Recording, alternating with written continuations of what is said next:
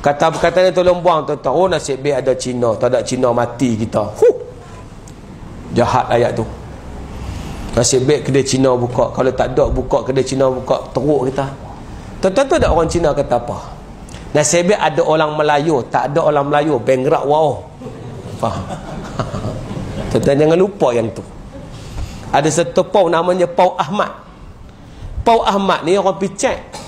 Tokenya bukan nama Ahmad yang nama Ahmad tu dreba dia token dia nama Ah juga tapi Seng. Kan? Ha. kenapa dia pakai Pau Ahmad? Sebab kalau dia buh Pau nama dia tak ada siapa nak makan mentega darah Pau dia. Ha. nampak tak tuan-tuan? Jangan lupa kekuatan tu ada kat kita. Kan?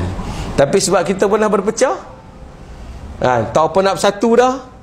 Dia fikir dah ada uh, uh, Allah Allah ah tak tak tak tak sah, tak sah, tak sah. Kembalikan kesatuan. Saya ulang, kesatuan ini bukan untuk tindak orang lain. Nak bagi tahu kita boleh jawab dengan lidah yang fasih dan tenang. Bukan bak mati yang jawab lidah dengan fasih dan tenang. Bak dunia ni boleh jawab dengan lidah fasih dan tenang. Bila orang kata, eh, orang ni perlukan kita tau. Jawapannya, kalau tak ada kita, orang pun tak boleh meniaga. Ha, untuk sekarang ni. Tapi lepas ni, kita bukan saja nak guna barang dia orang kita dah kumpulkan kekuatan mana-mana produk yang Islam bagus berkualiti orang beriman keluar support edarkan bagi tahu tolong jadi dealer agar kita buat ini sebagai satu jihad tuan-tuan. Ni mai surah mai masjid tuan-tuan bagai nak kok kokak kokak kokak apa nama sos linggam. Saya sos linggam ustaz kena nyelek liak tuan tolonglah tuan-tuan. Saya tak anti dengan linggam. Linggam boleh terus meniaga dan siapa nak pakai pakailah tuan-tuan. Tapi kita ada agenda. Banyak lagi sos kita yang sedap. Tuan-tuan pernah makan sos seraya? Tapi ada di utara tuan-tuan. Pasal apa ada di utara? Tak ada siapa teringin nak buat mai ke sebelah ni. Kita ada fishbowl ikhwan tuan-tuan ada mi yang dibuat oleh orang Islam kita, mi barakah ke apa pun ni. Banyak dah tuan-tuan. Oh mahal sikit ustaz. Mahal. Mahal apa dia? Sekupang. Allah. Allah. Sekupang berkira nak mampu. Eh. Jihadlah sikit tuan-tuan. Dan kita pun pesan kepada para peniaga. Jangan ambil kesempatan. Bila kita tolong kalian, kalian sombong dan kalian mula lupakan diri. Patut bila dah banyak orang guna, tugas kalian bagi rendah lagi harga. Agar benda tu boleh pergi lagi jauh. Ha. InsyaAllah tuan-tuan. Buat investment, buat duit, kita ada. Saya percaya tuan-tuan. Orang kita ada duit. Walaupun kita ni tak banyak duit. Sebab saya kata demikian, Tuan-tuan tahu tak? Ada nama Syekh Ahmad Siam. Datang pada datang pada Palestin tuan-tuan. Eh sorry, datang pada Syria ke Palestin saya ingat. Syria aja. Ni. Pada Palestin. Dia datang tu tuan-tuan, dia sebut dalam tu ceramah dia yang saya dengar.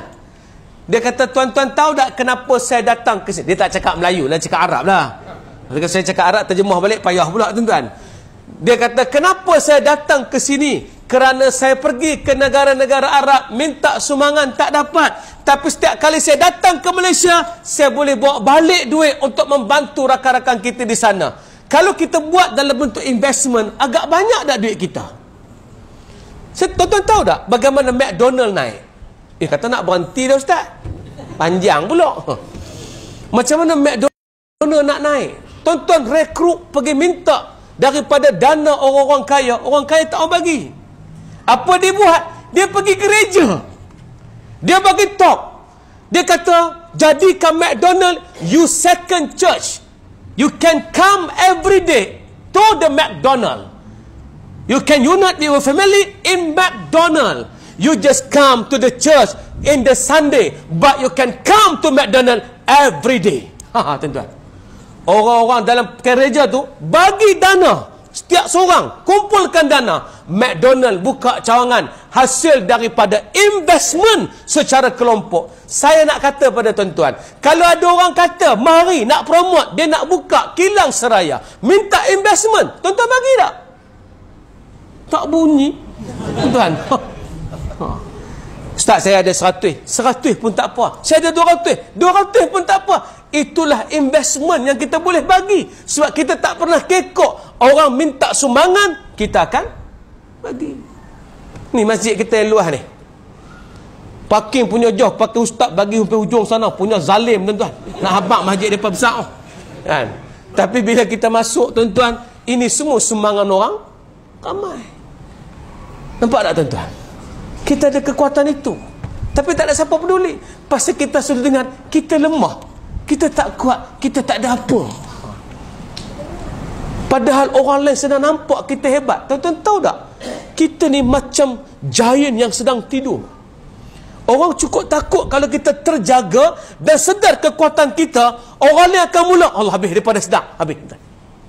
Tugas saya menggerakkan jaya yang tidur itu, tuan-tuan.